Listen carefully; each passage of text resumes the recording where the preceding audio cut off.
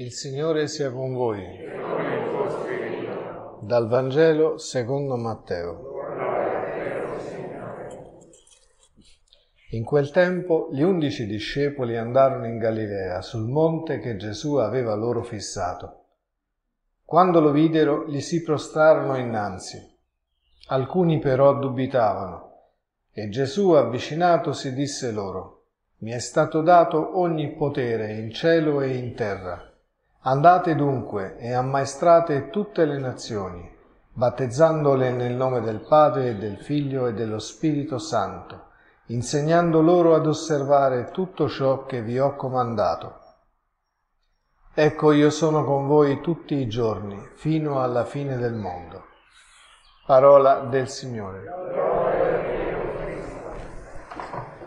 Questa finale di Matteo, invece di chiudere la predicazione di Gesù e la sua amicizia con i suoi discepoli, gli apostoli, apre una prospettiva grandissima. Perché? Perché è un mandato, un invio ad ammaestrare tutti e dice Gesù nel nome del Padre, del Figlio e dello Spirito. Dunque, a chi avesse ancora il sospetto come pensano spesso altre religioni, che la Trinità sia un politeismo, si accorgerà presto invece che questa è la volontà di Cristo che unifica in sé ogni cosa. Siccome però potre, potremmo anche dire che la nostra mente non ci aiuta a capirle queste cose, allora entriamoci da un'altra parte. Entriamoci dalla parte dello Spirito, per l'appunto, che è Lui che convince il mondo quanto al peccato, la giustizia e il giudizio, ma convince anche il nostro cuore e la nostra mente alla comprensione del mistero. Allora ci entreremo per una via di contemplazione, per una via mistica. E io credo che se la Chiesa ha, messo, ha pensato di offrirci la, eh, la devozione alla Trinità Santissima dopo la Pentecoste è perché senza la Pentecoste nessuno può attingere a questo mistero non è un mistero ragionevole solamente, è un mistero che si può contemplare. E adesso andiamo a guardare. Mi dispiace che non siano state scelte per questa Eucaristia altre letture, una in particolare, la seconda lettera ai Corinzi, che dice che, no, che il mistero nascosto dai secoli noi l'abbiamo conosciuto. Un mistero che, che il, la mente umana non ha la capacità di comprendere. Quando diciamo questo? Quando guardiamo la realtà creata ci accorgiamo che è molteplice, è ricca, è piena di cose meravigliose, la scienza ancora investiga e trova ancora e ancora e ancora. E anche quando incontra la contraddizione della malattia, quella che noi abbiamo vissuto in questi anni, in questo anno, due anni no, di, di, di pandemia, anche quando incontra la contraddizione la scienza ancora penetra il libro della Sapienza dice che questa scienza in realtà c'è data dalla sapienza di Dio, quella stessa sapienza che ha permesso a tutte le cose di essere create, chiamate all'esistenza e diventi, ed essere messe in relazione dall'intelligenza e dalla umiltà dell'uomo.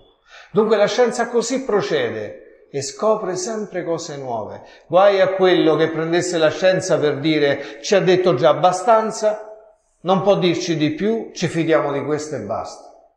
Se la scienza ci apre una conoscenza ulteriore, vuol dire che la finalità della scienza non è quella di pesare la materia, ma di, vi scandalizzo con questo, ma di incontrare lo spirito, quello stesso spirito che presiedeva alla creazione che aleggiava sulle acque informi all'inizio del, del, del progetto di Dio. E questa sapienza, diranno le altre filosofie, diranno gli altri modi di pensare, questa sapienza te la devi conquistare andandola a cercare con difficoltà, impegnandoti molto con la mente, conoscendo molte cose, forse studiando molto. Così sono le sapienze del mondo. Sono cose che si possono attingere con sforzo, con fatica e non tutti ci arrivano. No, non è questa la sapienza di cui parliamo noi. Questa sapienza nascosta ha potuto manifestarsi a noi, sai perché? perché tu hai, anche nella tua semplicità, pure nel tuo peccato, tu hai una sede per questa sapienza. Tu hai un luogo che è fatto apposta per attingere a questa sapienza. Sì, dirai che non te ne sei accorto, che le cose della vita, che i pensieri, le preoccupazioni, pensa quello che vuoi, ma una cosa la devi confessare però. Hai una nostalgia che non è quella del passato. Hai una nostalgia paradossale del futuro. Hai una nostalgia di qualcosa che non hai mai visto, che non hai mai conosciuto, eppure questa nostalgia brucia all'interno della tua vita e evoca costantemente la possibilità di incontrare, come direbbe qualcuno, l'inatteso. Cioè di incontrare uno che è diverso dalle immagini che hai ricevuto, che è diverso dalle idee che la gente si è fatta, uno che è sempre sorprendente. E sai perché è sorprendente? Perché portando in sé qualcosa di Dio, Dio egli stesso, porta pure la tua faccia. Dunque quando lo incontri sei sorpreso da questa presenza. Hai capito che questo desiderio del cielo non è un desiderio di angioletti e di non so chi, di spiriti puri, questo desiderio del cielo è calato nella realtà dell'uomo e un Dio uomo è venuto a raccontarcelo per dire a ciascuno fermati, guarda che cosa porti dentro. Hai la malattia, te la tolgo. Hai un problema, te lo tolgo. Non riesci a vedere, ti do la vista. Non l'hai mai visto? Io ti creo gli occhi per vedere. Per vedere che? I soli che girano?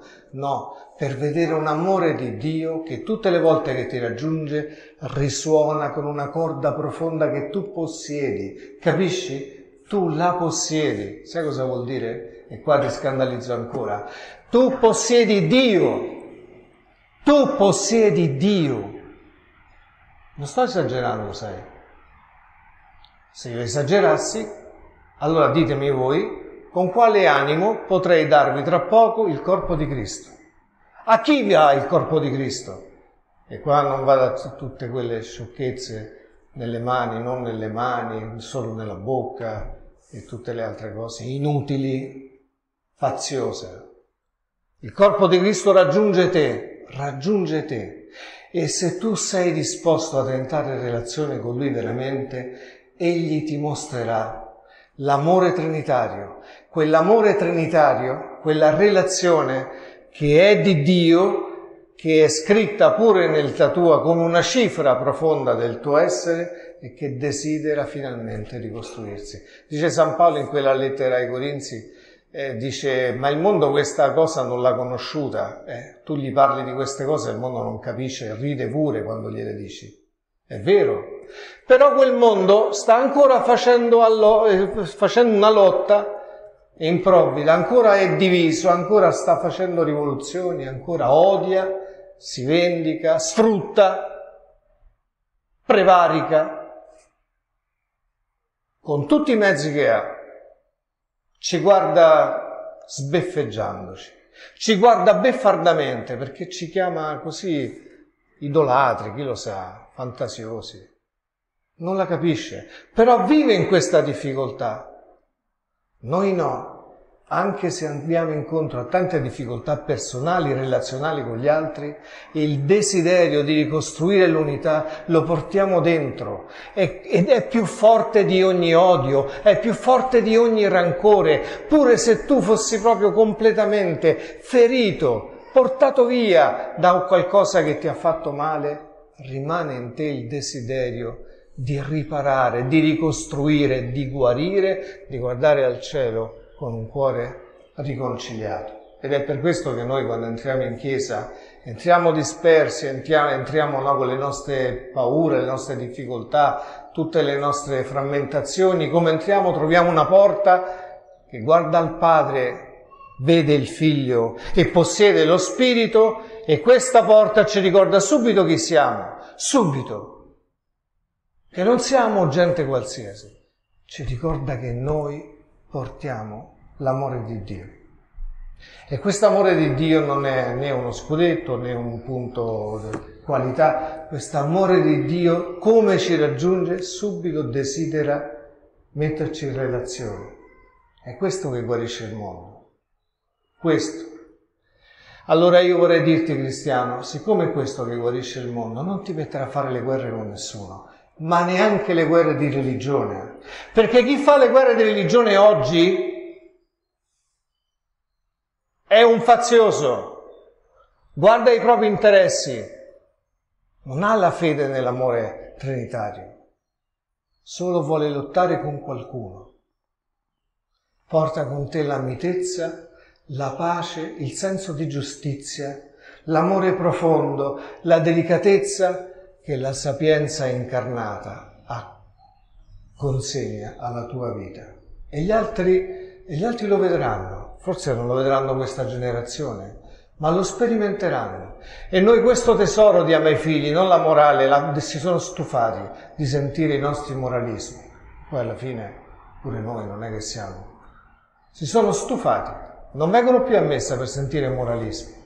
Vogliono sapere che cosa portano dentro e come mai quel desiderio irrefrenabile che qualche volta li porta al male, come mai pure nel male non è mai compiuto e desidera ancora evocare il bene in qualche modo, anche scimmiottandolo. Non sarai tu a dirglielo perché? Non gli dirai tu ai tuoi figli, ai tuoi nipoti, questo desiderio non è un desiderio di piacere, questo desiderio è un desiderio di bene. Il mondo andrà per la sua strada, il mondo farà le sue scelte, lo farà pensando di esaltare la libertà. Tu guardalo, Guardalo con pazienza. Noi siamo nella purificazione, cari fratelli. Guardalo senza giudicarlo.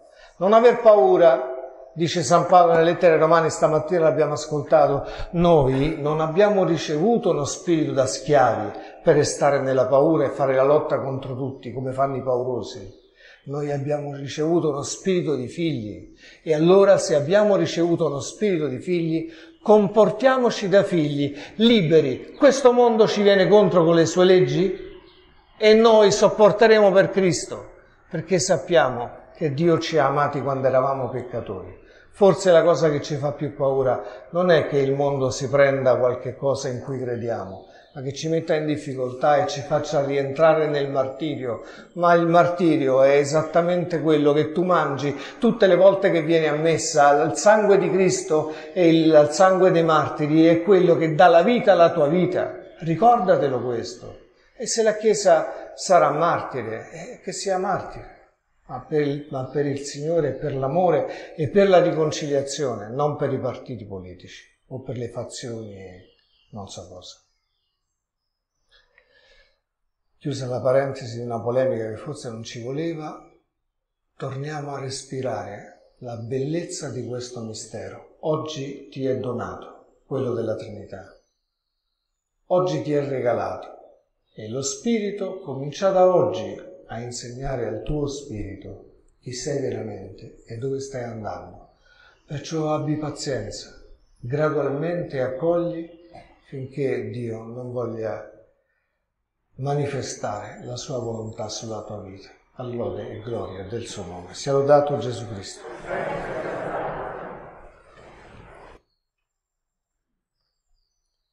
Padre Santo e misericordioso, la presenza del tuo Spirito nella Chiesa ci ricorda che tu ci hai fatti per te e il nostro cuore non ha pace finché non riposa in te. La presenza del tuo Figlio in mezzo a noi ci mostra la via per tornare alla comunione con te. Tu non disdegnare le nostre suppliche, ma dacci la possibilità di conoscerti, di incontrarti e di adorarti. Per questo ti preghiamo. Padre Santo e misericordioso, ti preghiamo per il Papa e per tutta la Chiesa. Mettila a riparo dalle divisioni dalle polemiche, da ogni lotta che attenta all'unità della Chiesa. Guarda con misericordia agli uomini, sballottati da molte idee diverse. Riconducili al tuo vile, per questo ti preghiamo. Padre Santo e misericordioso, ti chiediamo perdono perché in questo passaggio della fede, a questa generazione noi non siamo stati fedeli. Abbiamo tradito in molti modi. Anche la nostra mediocrità ci accusa. Dacci la possibilità di riparare, facci incontrare gli uomini bisognosi. Permetti che possiamo colmare il loro desiderio, per questo ti preghiamo. Padre Santo e misericordioso, ti preghiamo per gli uomini che non sanno di essere stati salvati e inabitati dallo Spirito e vivono ancora nella paura e si lamentano e gemono e, e talvolta imprecano. Ricorda loro che li hai chiamati alla salvezza, mostra loro il volto del tuo Figlio, per questo ti preghiamo. Ti prego, Padre Santo e misericordioso per questi tuoi figli.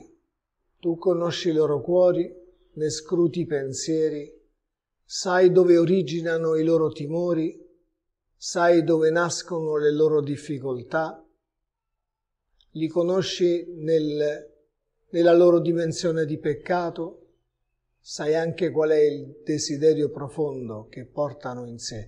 Mettili a riparo dei pensieri cattivi, guariscili da ogni malattia, guariscili dal maligno e da ogni maleficio. Possano tornare come la Vergine Maria Immacolata ad attendere il ritorno del tuo Figlio in pace nella fede e nella carità. Te lo chiedo per Cristo, nostro Signore. Il Signore sia con voi dal Vangelo secondo Matteo. In quel tempo gli undici discepoli andarono in Galilea, sul monte che Gesù aveva loro fissato. Quando lo videro gli si prostarono innanzi. Alcuni però dubitavano e Gesù avvicinatosi disse loro, Mi è stato dato ogni potere in cielo e in terra. Andate dunque e ammaestrate tutte le nazioni battezzandole nel nome del Padre e del Figlio e dello Spirito Santo, insegnando loro ad osservare tutto ciò che vi ho comandato. Ecco io sono con voi tutti i giorni fino alla fine del mondo. Parola del Signore. Un mistero nascosto dai secoli, così è definito il mistero trinitario la Chiesa poi ne ha evidenziato anche una dimensione prescrittiva, stabile, un dogma insomma al quale siamo tutti tenuti a credere. Ma quando la teologia riflette sul mistero trinitario, dobbiamo dirlo, usa una terminologia e dei ragionamenti che voi direste sono un po' difficili. Non sono un po' difficili, sono molto difficili. E tuttavia portano in sé una semplicità che ci sconcerta che ci disarma e che, ci, che alimenta in noi anche un desiderio nuovo di relazionarci con questo mistero. Beh, San Paolo in questa lettera ai Romani, bellissimo capitolo 8 della lettera ai Romani, in cui riflette sulla presenza dello Spirito e sulla sua azione, ci mette davanti una prima evidenza davanti alla quale tutti noi penso possiamo consentire. Dice che quelli che sono guidati dallo Spirito di Dio sono figli di Dio, cioè quelli che guardano le cose della storia non solo in modo meccanico e che ne so io, come diciamo noi qualche volta con un po' di presunzione scientifico, ma si accorgono che nella storia è nascosto un segreto, segreto un segreto desiderio di relazione, costoro sanno di non essere guidati solo dall'evidenza dei fatti, ma sanno di essere anche sostenuti o spinti addirittura dall'interno da qualcosa che è più grande, che trascende, come si suol dire. E dice San Paolo, nella fattispecie voi non solo avete ricevuto eh, la possibilità di riconoscere questa relazione, se siete figli è chiaro che avete un padre, dunque capite che la relazione sta al centro della vostra ricerca e alla fine dei vostri sforzi. Ma voi, ve lo annuncio, avete ricevuto uno spirito di figli adottivi. E questo spirito non vi permette di tornare nella paura dove stavate prima, nel buio, nella realtà oscura dentro la quale giudicavate male le cose, avevate paura di ogni evento, di ogni fatto, prima di tutto della morte.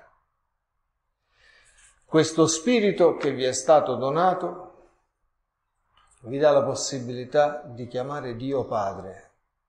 Questo è il grande mistero. Abbiamo ricevuto non uno spirito da schiavi, come tutte le religiosità naturali, abbiamo ricevuto uno spirito di figli, ma chi ce l'ha detto che questo era uno spirito di figli?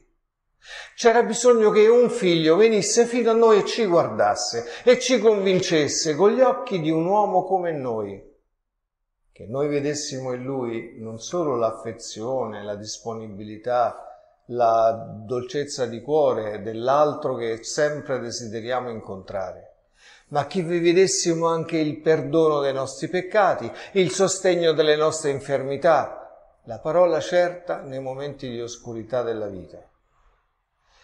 E se questo non fosse bastato, questo figlio che ci ha guardato con quello sguardo di cui dicevamo, ci ha fatto comprendere che la nostra vocazione ad avere una relazione è più alta di quello che pensavamo. Non basta la relazione che tu vorresti avere con il tuo vicino, il tuo prossimo, qualche volta anche solo per sfruttarlo, per usarlo a tuo, a tuo piacimento. No, questa relazione ti permette di amare l'inamabile, ti permette di sostenere la debolezza di chi hai intorno perché capisci che ha bisogno di te. Costui, quando ci ha aperto il cuore, ci ha fatto conoscere che chi lo ha mandato ci ha amato quando eravamo peccatori. Dunque chi lo ha mandato, il suo padre, ci ha conosciuto dentro le difficoltà della nostra vita, dentro le incongruenze, quelle che generalmente noi nascondiamo, lui le conosce e conoscendole non si è approfittato di questo. Ma ci ha mandato una logica comprensibile, il volto del suo figlio, quando l'abbiamo incontrato abbiamo detto ma, ma questo è semplice, costui ci ama, se ci ama vuol dire che c'è qualcosa in noi che è degno di essere amato e, e, ci ha fatto conoscere anche che questo qualcosa in noi che è degno di essere amato non viene da noi, viene da chi ci ha chiamati all'esistenza. Allora sta a vedere che costui viene come un buon pastore, viene come uno che viene a riprendersi il suo e riprendendo noi in questo ovile ci arricchisce delle sue grazie. Per questo Paolo diceva in quel brano che abbiamo ascoltato che la presenza di questo spirito ci fa capire che siamo eredi di Dio. Tu hai capito, eredi di Dio. Oh, ma tu ce l'avrai una idea dell'eredità, no? Anche se l'eredità non l'hai avuta, ce l'hai. Combatti con tua cognata sempre per questa eredità. No, lo sai che c'è un'eredità. E l'eredità che cosa ti consegna? Quello che era di tuo padre o di tuo nonno. E quando te lo consegna, se è una ricchezza ingente, come diventi tu? Ricco come tuo nonno. Ebbene sappi che questo figlio ci ha fatto ereditare nello spirito di Dio che cosa? La divinità. E dice Paolo che noi siamo diventati eredi di Dio e coeredi di Cristo, coeredi di Cristo, ma ce l'avrai al centro della tua esistenza, un languore così forte, una nostalgia così eh, eh, irriducibile che ti fa capire che tu non pensi alla vita dopo la morte perché hai bisogno di credere in qualche cosa, ma che questo desiderio affonda le radici dentro la tua stessa realtà umana. Ebbene, uno è venuto a dirti come si chiama. Questa si chiama figliolanza. Tu sei fatto per la relazione e non hai pace finché questa relazione non la ricostruisci. E perché tu possa imparare che cos'è questa relazione incomprensibile tra il Padre, il Figlio e lo Spirito, prima ancora che venga la teologia o la filosofia a dirtelo, hai una scuola davanti ai tuoi occhi, hai la famiglia, hai il tuo prossimo, hai la società, hai il mondo in cui sei chiamato ad agire da figlio e non da, da padrone. Per questo Gesù in questo brano di Matteo, guardate, con semplicità, proprio in poche righe, dice, dopo che stavano là a decidere ma sarà lui o non sarà lui, perché era morto, si è risorto, ma non si capisce, non si riconosce, Perché tu lo riconosci sempre Gesù nella storia che vivi? No, lo sai chi è, te l'hanno detto, te l'hanno raccontato, più o meno te ne sei fatta un'immagine, forse c'hai l'immaginetta di Gesù misericordioso, poi esci fuori nel mondo, vedi il tuo prossimo, non ha questi tratti e lo odi, lo disprezzi e lo allontani. Come fai a ricordarti che è figlio di Dio pure lui? Gesù passa sopra questo dubbio degli apostoli che dubitavano e si avvicina, dice Gesù, avvicinatosi come si è avvicinato quando è disceso dal Padre per venirci a raccogliere, dicendo, sappiatelo, mi è stato dato potere in cielo e in terra. Tutte le cose difficili di lassù io le ho tradotte nella semplicità dei vostri sguardi. Tutti i vostri desideri che non capite io li ho riportati davanti al Padre. Dunque non c'è più niente che sia escluso da quest'amore. Dunque, dice Gesù, andate e ammaestrate tutte le nazioni, battezzandole nel nome del Padre del Figlio e dello Spirito Santo. Sai cosa vuol dire? Vuol dire che dovunque vai, tu riporti la relazione trinitaria come logica della relazione tra gli uomini. Li battezzi nel nome del Padre, del Figlio e dello Spirito Santo, non solo perché va il sacramento, ma perché gli ricordi che tutto quello che portano dentro appartiene a Dio e in Dio troverà la sua gioia e la sua felicità. Tu vai con questo schema nel cuore e nella mente, perché tutti sappiano che la relazione salva il mondo. La relazione viene da Dio. Per gli uomini è una ricchezza e un dramma. Tu insegni agli uomini a vivere secondo questa relazione troveranno il Padre perché lo Spirito gli è stato già consegnato. Lo vedranno negli occhi del Figlio, quindi negli occhi di ogni uomo, perché là il Padre desidera manifestarsi. E dopo aver detto questo, andandosene da loro, tornando in cielo dal Padre, dice io però resterò con voi in ogni tempo, fino alla fine.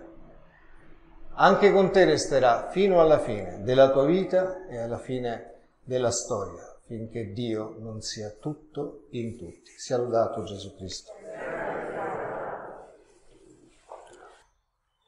Padre Santo e misericordioso, creandoci a tua immagine e somiglianza, hai impresso in noi il desiderio di conoscerti, la gioia di incontrarti, la possibilità di condividere questo amore con tutti quelli che tu hai pensato e chiamato all'esistenza. Ma noi tante volte, se siamo ritratti, abbiamo provato difficoltà ad amare il prossimo, non abbiamo seguito le vie del tuo figlio. Vieni incontro ora a questa nostra debolezza, lo Spirito Santo susciti in noi la preghiera. Il tuo figlio la porti fino a te e tu possa esaudirla. Per questo ti preghiamo. Padre Santo e misericordioso, ti preghiamo per il Papa e per tutta la Chiesa. Difendila da quelli che vogliono sovvertire quest'ordine, da quelli che vogliono dividerla, che l'accusano ogni giorno, che sono polemici, che non accettano questa logica che tu hai inaugurato in questo tempo della Chiesa. Metti a riparo anche noi dai loro strali, dal loro odio, dal loro disprezzo. Per questo ti preghiamo. Padre Santo e misericordioso, anche noi siamo stati animati da un desiderio irrefrenabile di conoscerti e di amarti con tutto il cuore, con tutta la mente e con tutte le forze. Perdona tutte quelle occasioni in cui non abbiamo testimoniato il tuo amore. Perdonaci per la nostra mediocrità per la paura che abbiamo di affrontare la vita, perché non abbiamo saputo riconciliarci con il prossimo. Dacci la possibilità di riparare in questo tempo, che il mondo sappia e creda nella parola del tuo Figlio. Per questo ti preghiamo. Padre Santo e misericordioso, ti affidiamo gli uomini di questa generazione, quelli che conosciamo, quelli che stanno soffrendo la malattia, che hanno paura della morte, quelli che vivono realtà disgregate e divise nelle loro famiglie, tutti quelli che hanno vissuto l'abbandono da parte dei loro cari o la perdita dei congiunti, possano guardare attraverso il volto del tuo Figlio al tuo amore, fiduciosi un giorno di rientrare pienamente in questa comunione. Per questo ti preghiamo. Padre Santo e misericordioso, ora ti prego per questi tuoi figli. Tu conosci il loro cuore, scruti i loro pensieri, sai di che cosa hanno bisogno, sai cosa può onorare le loro unioni. Vieni in soccorso alla loro debolezza, risanali rialzali, perdonali Mettili a riparo dal pensiero cattivo, da ogni insidia del maligno, guariscili da ogni malattia e da ogni maleficio. Te lo chiedo, Padre Santo e misericordioso, per il sacrificio del tuo Figlio, per la presenza del tuo Spirito, che sempre eleva la nostra preghiera fino a te, per Cristo nostro Signore. Sub tuum presidium confugimus, Sancta Dei Genitris, nostras deprecationes, ne despicias in necessitatibus, sed a pericolis cunctis libera nos semper.